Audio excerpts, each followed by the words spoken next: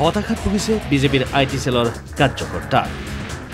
সামাজিক মাধ্যমত কাউণ্টাৰ দিলেই হৈছে সমালোচনাৰ সন্মুখীন। বিজেপিৰ আই টি চেলৰ হতাশা দূৰ কৰিবলৈ অসম বিজেপিৰ ৰণনীতি। বিশেষ কৌশলেৰে তৈয়াৰ কৰিছে বিজেপিৰ আই টি চেলৰ কাৰ্যকৰ্তাসকলক। বিজেপিক প্ৰতিটো নিৰ্বাচনত জয়ী কৰোৱাত অন্যতম গুৰুত্বপূৰ্ণ ভূমিকা আছে বিজেপিৰ সামাজিক মাধ্যমৰ কাৰ্যকৰ্তাসকলৰ।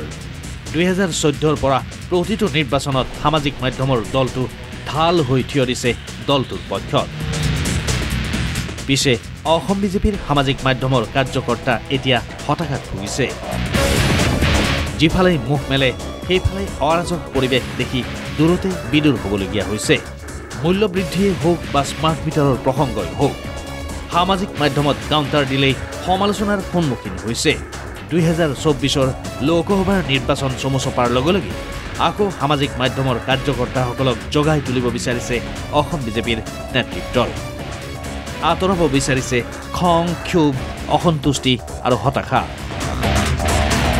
নিৰ্বাচনী ৰণদংকা বজাৰ লগে লগে আকৌ প্ৰতিজনক একো একোজন যোদ্ধা কৰি তুলিবলৈ বিশেষ ৰণকৌশল প্ৰস্তুত কৰিছে গেৰুৱা দলটোৱে।